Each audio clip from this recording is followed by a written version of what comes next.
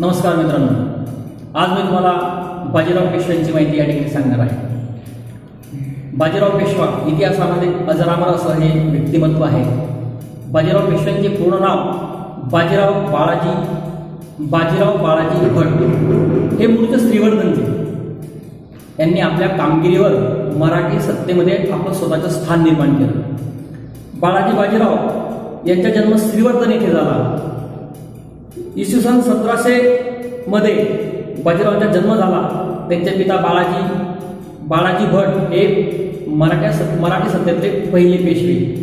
आणि बाळाजी भटानंतर पेशवेची वस्त्रे शाहू महाराजांनी बाजीराव यांना दिली बाजीराव यांनी आपल्या हयातीमध्ये आपल्या कारकिर्दीमध्ये शिवाजी महाराजांच्या सत्ता स्थाप उत्तरेमध्ये सत्तेचा विस्तार करण्याचे स्वप्न पूर्ण केले.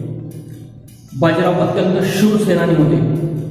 वेगवान हालचाल हा त्यांच्या युद्धतंत्राचा महत्त्वाचा भाग होता.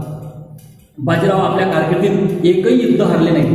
त्यांनी आपल्या कारकिर्दीत सत्तेचाळीस लढ्या लढल्या आणि ते जिंकल्या देखील. बाजीराव हे अजिंक्य सेनानी होते. त्यांनी आपल्या सत्तेचाळीस चाळीस वर्षाच्या कारकिर्दीत अतुलनीय पराक्रम गाजवून मराठी सत्तेचा दरारा निर्माण केला. पहिल्या बाजीरावाने पुण्यात शनिवार वाड्याचं बांधकाम केलं.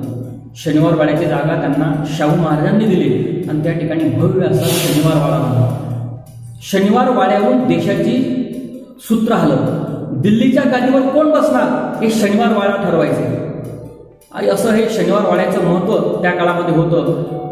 बाजीराव पराक्रमी व दिलदार होते. शाहू महाराजांजवळ त्यांची फार मोठी प्रतिष्ठा होती. एकदा शाहू महाराजांनी असं म्हटलं होतं की मला दोन लाख फौज आणि एकीकडे बाजीराव या दोघांची निवड करण्याच्या सांगितल्यास मी बाजीरावची निवड करेन. या वाक्यावरनं बाजीरावांची महती आपल्याला कळते. बाजीराव पेशव्यांना राऊ असं देखील म्हणत. अत्यंत शूरसेनानी हा शूरसेनानी मध्य प्रदेशमधील रावेरखेडी या ठिकाणी या रावेरखेडी या ठिकाणी त्यांचं निधन झालं. बाजीरावाने आपल्या कर्तृत्वाने आणि आपल्या संशयीच्या जोराने संपूर्ण भारतामध्ये मराठ्यांचं वर्चस्व निर्माण केलं मराठी सत्तेचा दरारा निर्माण केला.